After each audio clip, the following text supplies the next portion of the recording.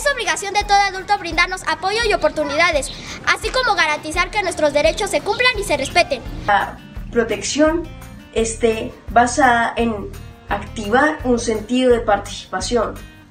Queremos y necesitamos que los adultos entiendan que no somos el futuro sino el presente, ese presente que necesita ser escuchado a gritos.